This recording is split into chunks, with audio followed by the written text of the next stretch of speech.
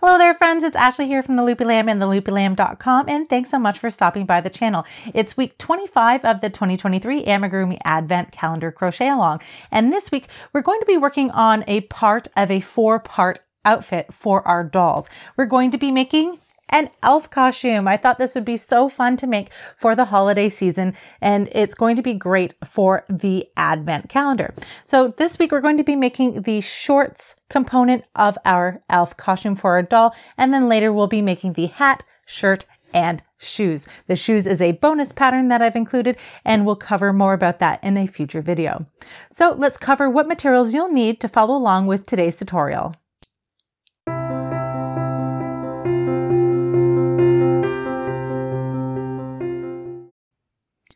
To follow along with today's tutorial, you'll need the following materials. You'll need a worsted weight yarn in your color of preference. This is Brava worsted weight that I'm using here today from We Crochet, and I'm using the color avocado. You'll need a three and a half millimeter or E crochet hook, or whatever hook size that you've been using throughout the crochet along to match the gauge given in the pattern. If you're just finding us now, I recommend taking a look at the written pattern, which is available free on my blog, and I've linked to that in the description box below, and you'll find all the gauge information that you need there. You'll need a couple of stitch markers, a pair of scissors, a tapestry needle, one nine millimeter button, and a sewing needle and some sewing thread in a color that's close or to or matches the yarn color that you're using. So let me clear my workspace here and we'll hop on into crocheting a pair of elf shorts for our amigurumi dolls.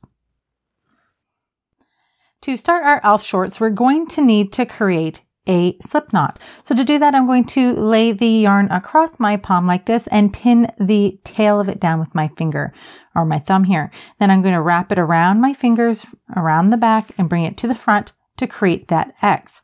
Then we're going, while holding onto the yarn, we're going to flip our hand and then we'll have two strands across our hand. And then I'm going to pin the yarn down between my ring finger and my middle finger. Now at this point, you can either use your fingers or your crochet hook.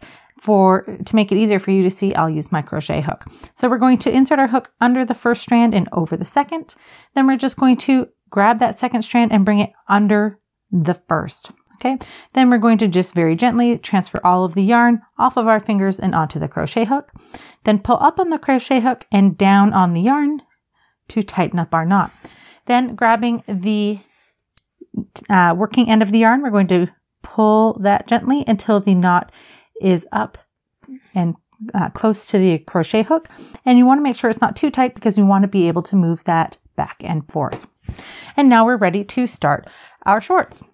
And when we're crocheting these elf shorts for our dolls, they are worked from the bottom up. So we're going to work each pant leg and then we'll join the pant legs and finish uh, creating our shorts for the uh, doll. So to start, we're going to need to create a chain of 20. So we're going to yarn over hook and pull that loop through the loop on your hook to create your first chain. That's a chain one. So we're going to yarn over again and pull that yarn through the loop on our hook. And that is a second chain. And we're going to continue this yarn over and pulling through the loop on our hook until we have 20 chains. So if you'd like to pause your video and do 20 chains, I'll meet you back here in just a moment. All right, so I'm back and I've done my 20 chains. If you're not uh, familiar with how to count your chains, I'll show you that quickly. So you would turn your piece so you can see these little V's, right? If you've got your work facing like this, you need to turn it around so you can see each of these V's. Now, starting with your counting from your slip knot, over toward in the direction of your hook, you're going to count each one of those V's. And if you count all of those V's and you have 20, then you should have your correct amount of chains. And now when we're counting, we never count the yarn on our hook as a chain. So now what we're going to do is we're going to join our first chain to our last chain to form a ring. Now we want to make sure that we don't twist our chain when we're doing this. So what I like to do is I like to hold my chain taut like this and then I place my finger in the middle and then I fold the chain in half. Okay. And then I'm going to insert my hook into that first chain here or inserting my hook. And then now I know that there isn't going to be any twists in that chain. So now we're going to do our slip knot. So we're going to yarn over hook and pull that loop through both loops that were on our hook. And now we have joined our two ends to form a ring. Now we're going to yarn over and chain up one. Okay, now we're ready to start crocheting our first round of our pant legs. I recommend bringing in a stitch marker and having that handy because we're going to be needing that moving forward to help us keep track of our stitches. So working into the first chain here, we're going to work a single crochet. So inserting our hook into that first chain, yarn over hook and pull up a loop. You should have two loops on your hook. Then we're going to yarn over and pull through both loops on our hook. And that is our first single crochet completed. And now the pattern says we're going to work one single crochet into each stitch around. So working into the next chain here, we're going to insert our hook, yarn over and pull up a loop. There should be two loops on your hook. And we're going to yarn over and pull through both loops. And that is our next single crochet. And again, we're just going to continue this into each of these chains around and working that one single crochet into each chain. So if you'd like to pause your video and work one single crochet into each chain around, I'll meet you back here at the end of the round to show you how we're going to finish off. All right, so I'm back and I've worked one single crochet into each of those chains and I've at the end of the round. Now we're going to do a slip stitch join to join our last stitch here to the first stitch of the round. So we're going to insert our hook under both loops of that first stitch that we did here. Then we're going to yarn over hook and pull up a loop. Okay. Then we're going to pull that loop through the loop that was already on our hook and that is our slip stitch join. At the end of this round, you should have 20 single crochets. And if you're not familiar with how to count those stitches, turn your work again so you can see those V's just like we did with the chain. And you're just going to count each one of those V's around. And the slip stitch never counts as a stitch. All right. And so if you count 20 V's, you have the correct amount of stitches. So now we're ready to move into round two. To do that, we're going to yarn over hook, and pull up a loop to chain one. Then we're going to turn our work. And this is where we're going to use our stitch marker. You don't have to do this. This is optional, but um, I find that when you have your slip stitch join, it can be easy to either lose or pick up extra stitches as you're working because we're going to be working in turned rounds and that slip stitch can make things a little harder to see. So what I'm going to do is I'm going to place this stitch marker in the first stitch of the previous round here. I'm going to lock that into place. So that way I know wh- where my last stitch of this next round will be. And I know that I, that's where I need to stop, right? Let me put my hook back here into my chain and I'm ready to go. So for round two, we're going to work one single crochet into each stitch around. So you're going to take a look at your previous round stitches, find that V, and you're going to insert your hook under both of those loops. Yarn over, pull up a loop, then yarn over and pull through both loops. And that's your first single crochet completed. And then just like we did in the previous round, we're just going to work one single crochet into each stitch around. If you'd like to pause your video and work one single crochet into each stitch around, I'll meet you back here at the last stitch of the round to show you what we're going to be doing next. All right, so I'm back and I've just done my last stitch of the round and I'm ready to join my last stitch to my first stitch with a slip stitch. So inserting my hook into the first stitch there, yarn over and pull up a loop. Then pull that loop through the loop on your hook. And that is your slip stitch join. Now for rounds three and four, we're going to do the exact same instructions that we did for round two. We're going to yarn over and chain up one and turn our work. And then we're just going to work one single crochet into each stitch around. And at the end of the round, we'll join our last stitch to our first stitch with a slip stitch. So if you'd like to pause your video and do rounds three and four in the same way we did round two, I'll meet you back here in just a moment to show you what we're going to do at the end of round four. All right, so I'm back and I'm at the end of round four. And so I've done my slip stitch join. And then what you're going to do is you're going to cut your yarn and then pull your yarn all the way through that stitch. And then you can set your pant leg aside because now you need to work on pant leg two. So to do pant leg two, rewind the video and watch the instructions for pant leg one again. But when you get to the end of round four, don't finish off. Meet me here at the end of round four after you're done your second pant leg, and then I'll show you how we're going to join these pant legs together. So I'll meet you back here in just a moment. All right, so I'm back and I just finished my second pant leg and we're ready to join our two pant legs together. Again, at the end of round four, after you're done your second pant leg, we're not going to finish off like with we did with the first leg. We're going to join our pant legs together now. So at this point, we're going to yarn over and chain up two. So we're going to yarn over and pull through the loop once, yarn over and pull through the loop twice. And now we're going to grab our first pant leg here and we're going to start working into the top of our first pant leg. And I had left a stitch marker here in that last stitch of the round. Let me get that out of the way. And so now we're, after we've done our chain two, we're going to insert a hook into the last stitch we did in pant leg one. And we're going to single crochet into that stitch. So we're going to yarn over and then yarn over and pull through both loops. Okay, so at this point, let me get my little yarn tails out of the way so you can see what we've got here. So at this point, you can see that our pant legs are joined together with this chain two.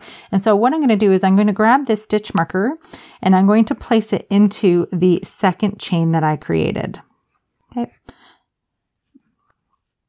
Because in subsequent rounds, that is going to be our first stitch moving forward. So I'm just going to place that there temporarily.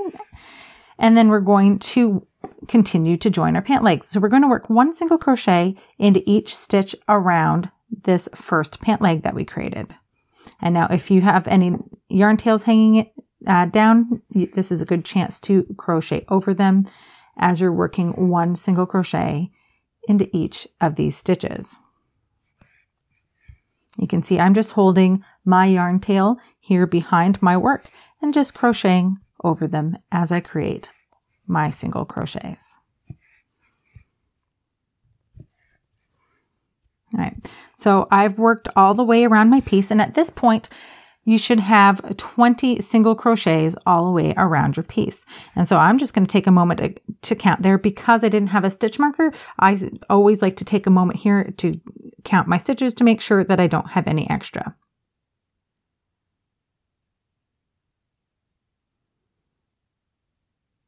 All right, so I have my 20 single crochets and now I'm going to continue to move on. So now we're going to have to work into these chains we created to uh, essentially cross the bridge from one pant leg to the other. So this stitch marker will get in the way. I'm just going to move it temporarily out of the way.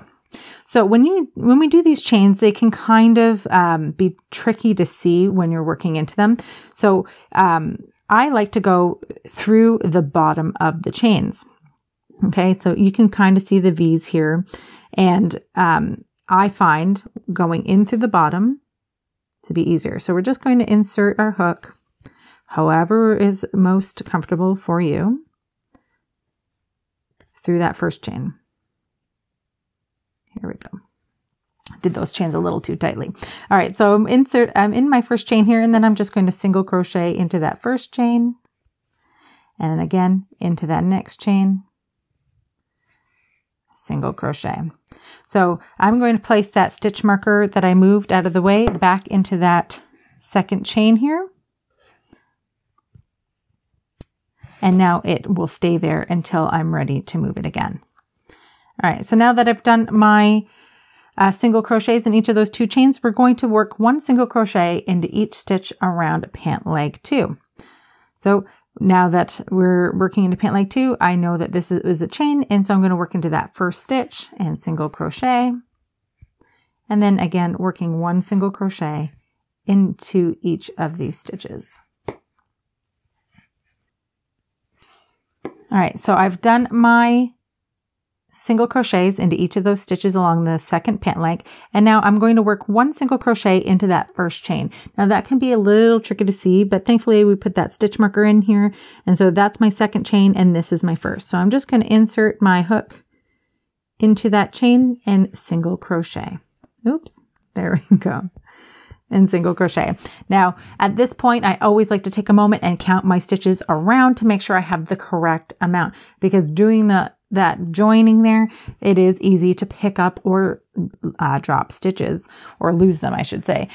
So take a moment and count your stitches around. You should have 44 stitches and that second chain that we marked with our stitch marker, even though there's not technically a stitch in it, we count it as a stitch. So counting this first or this second chain here with the stitch marker, count that as your first stitch and then count all the way around and make sure you've got 44 stitches before moving on. All right, so I've got my 44 stitches and now I'm going to join my last stitch to that marked chain with a slip stitch. So inserting my hook into that marked stitch, yarn over, pull up a loop, and then pull that loop through the loop on your hook to join. And now we're ready to move into round six. Now rounds six through 14 are all done the same way. What we're going to do is we're going to yarn over and chain up one and turn our work. And then we're going to work one single crochet into each stitch around. So if you'd like to pause your video and work one single crochet into each stitch around, I'll meet you at the end of this round to show you how we're going to finish it off.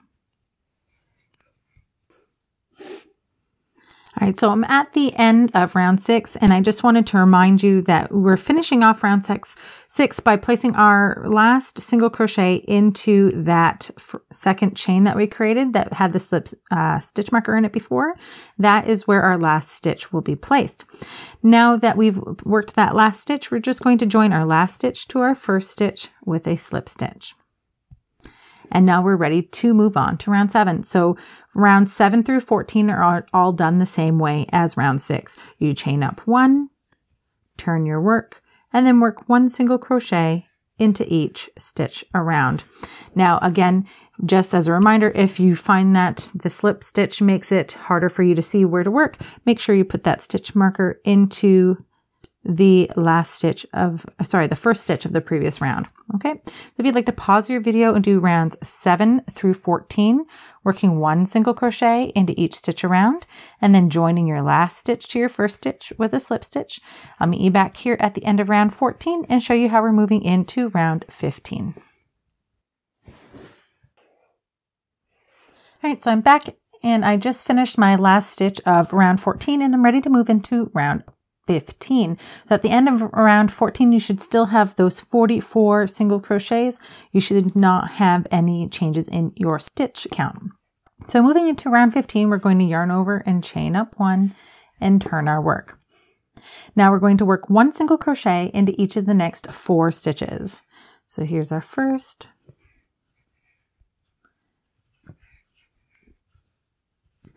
there's our third, and our fourth. Now that we have our four single crochets, we're going to create the first strap on our shorts. So we're going to chain a, do a chain of 34. So yarn over and pull through the loop. There's one, yarn over, pull through the loop. There's two. We're going to continue this yarn over and pull through until we have 34 chains. All right, so I have my chain of 34 and I've turned my work so I'm working back up the chain we just created. And now we're going to start in the seventh chain from the hook. So when we're doing that, again, we never count the yarn on our hook as a chain and we're going to count over seven. So one, two, three, four, five, six, and seven. And I'm going to place my finger right next to that seventh chain so I know where to insert my hook. So inserting my hook into that seventh chain, I'm going to do a slip stitch. So inserting into the chain, yarn over and pull up a loop then pull that loop through the loop that was already on your hook. And that's your slip stitch completed. And now by doing that, we have created a buttonhole for the strap on our shorts. And now we're going to work one slip stitch into each of the chains we created. So into the next chain, insert your hook, yarn over, pull up a loop, and then pull that through the loop on your hook. So if you'd like to pause your video and work one slip stitch into each of the chains we created, Meet you back here at the end of the chain to show you how we're going to proceed with the rest of round 15. All right, so I'm back and I just finished my last slip stitch and this is what your strap should look like at this point. You've got one slip stitch into every chain you created, except for these skipped chains at the beginning that uh, will become a buttonhole. And now we're ready to continue working across the top of our piece. So now we're going to work one single crochet into each of the next 36 stitches. So working into the next available stitch in the body of your piece, you're going to work one single crochet, and this first single crochet helps to join your strap back to your shorts. And then we're just going to continue working one single crochet into now into each of the next 35 stitches. We've done one, so now it's 34. If you'd like to pause your video and work your 36 stitches, you can meet me back here when you've done 36 stitches after your slip stitch strap. All right, so I'm back and I've done my 36 single crochets and I'm ready to create my second strap. So again, to make it even, we're going to do another chain of 34. So we're going to yarn over and pull through the loop. There's one, yarn over and pull through the loop. There's two, and we're just going to continue this yarn over and pull through the loop until we have 34 chains. All right, so I'm back and I've done my 34 chains. And again, we've turned, so we're going to be working back down the chain we created. So starting in the seventh chain from the hook, we're going to place a slip stitch. So again, we never count the yarn on our hook as a, a loop or a chain, and we're going to count, start counting here, and we're going to count over seven. One, two, three, four, five, six, seven. And so I'm going to place my thumb next to that chain, and then I'm going to insert my hook into the seventh chain there. And then we're going to do that slip stitch. And again, we've got another buttonhole. And we're going to just work one slip stitch into each of the chains back up to the body of our piece. So if you'd like to pause your video and work one slip stitch into each of the chains, the remaining chains that we created, I'll meet you back here in just a moment at the end of the chain to show you how we're going to proceed working into the body of our piece next. All right, so I'm back and I just finished my last slip stitch in my second strap and we're ready to proceed with the rest of the stitches in round 15. So working into the next available stitch in the body of your piece, you're going to work one single crochet into that stitch. And again, this single crochet joins your strap back to the top of your piece. And then you're going to work one single crochet into each of the next three stitches.